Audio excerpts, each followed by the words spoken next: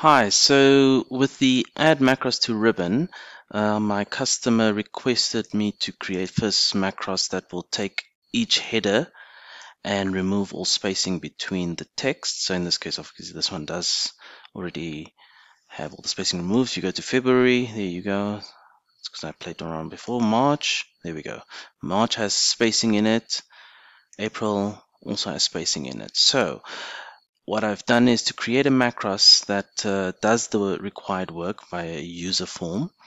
Um, and then also to consolidate. So I'm just going to do up to April because you'll see May and June does not have any information. So consolidating would be first create all the headers similar to this one, then consolidate each tab's information into one new file.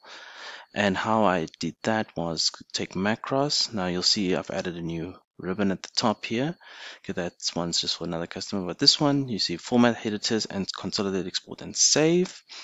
So in this case, the, the, the reason for using this is that when you open the file, this is a normal XLSX file, the normal Excel file, not macros uh, enabled at all.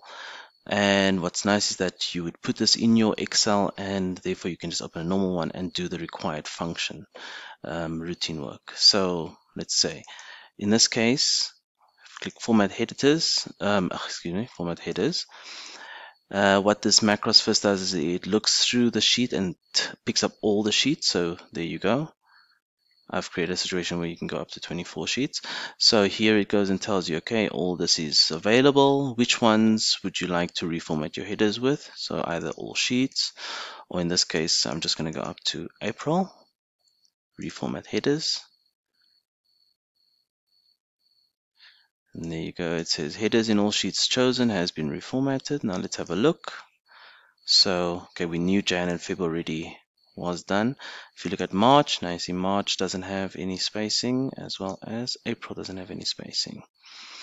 Um, now we want to consolidate this information. So in Jan we have one row. I just put in some detail calling ones.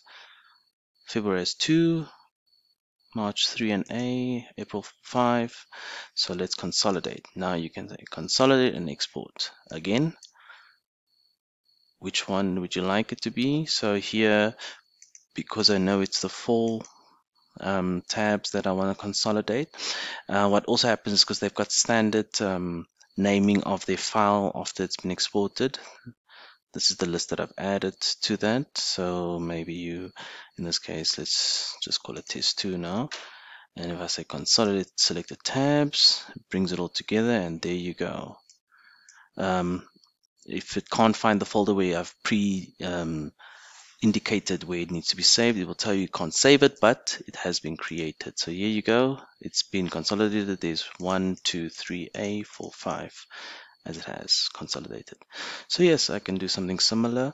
Um, the focus of this is not really on the specific um, function or daily routine work here, but the fact that any macros that you require can be added to your ribbon here and then allows you to open a lot more files without having to create or recreate them in a macros enabled file.